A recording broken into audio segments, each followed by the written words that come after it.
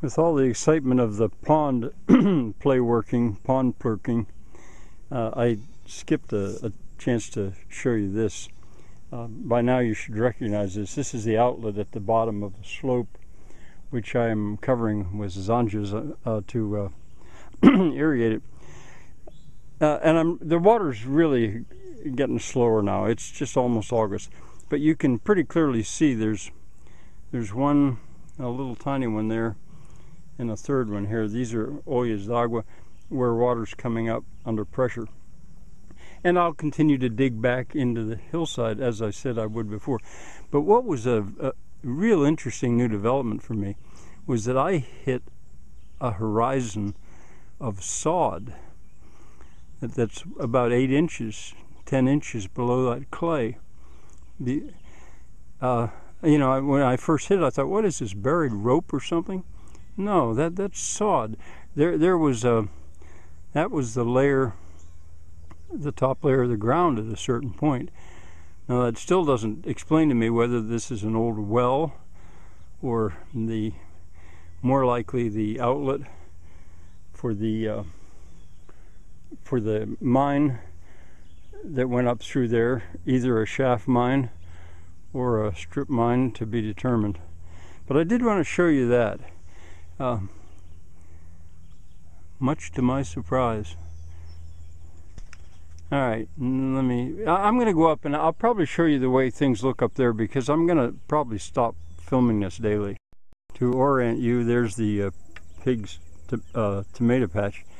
And uh, it's morning, I haven't done anything here yet, but you can see through the night the water has been working its way down the hillside and I'm spreading it out through these zanjas and it, it came down this far. Actually, it came down a little further. It's going back now.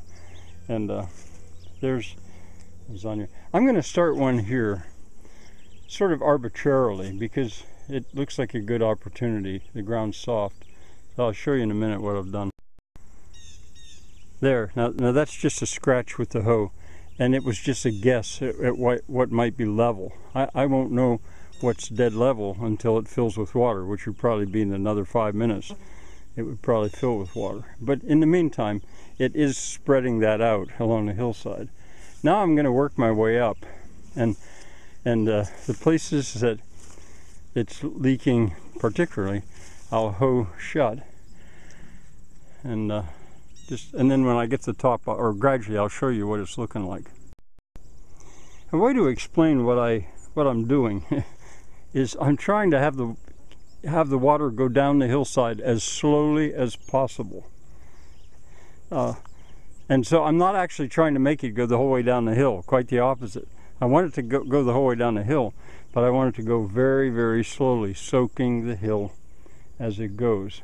And this is working like a dream as far as I'm concerned. I don't know if you can tell. But I, I started up again because here's a new development. On the south side of this slope, uh, I, I was directing more water in this over here, and it, it is coming out, and it's made its way the whole way down beyond my my work area. So I'm going to get down there and interrupt that uh, fall line with some proposed. If I can find old zanjas, I will, that I did like 40 years ago. But uh, otherwise, I'll I'll propose some just to, to slow that up. Well, there's actually quite a bit to do here. The, the uh, ground had been softened enough through the night with that infiltration that, that with the corner of my hoe I could just scratch those Zanja proposals. And you can see this one's already beginning to fill. And uh, this one I had done yesterday. Uh, and and I was able to extend it. So actually, from what I've done today, I could this morning I could say I've probably added, I don't know, maybe 10, 20 Zanja feet to my system, although of course they have to be developed. And I may change the position of they're too. But you can see the point, I hope, that infiltrating the soil with just the right amount of water softens it, makes it more amenable to life in general, and makes it uh, possible, easier to uh, continue the work.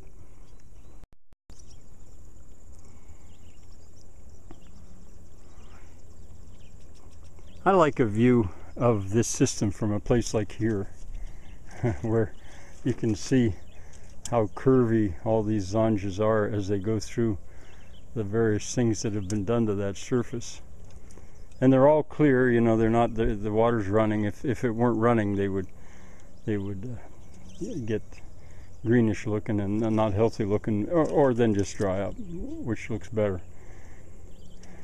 I'm going to take one more view well, I say that, but then I always go on from up above.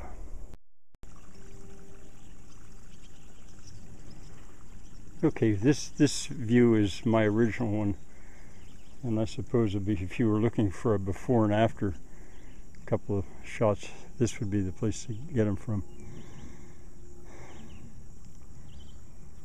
So it's tuned up. I, I'll come by here every morning and tune it up, but I don't expect a lot more development until we get a little bit more rain or, or uh, another rain. But in the meantime, it's doing its work. All right, this time I think I am finished for now. Bye.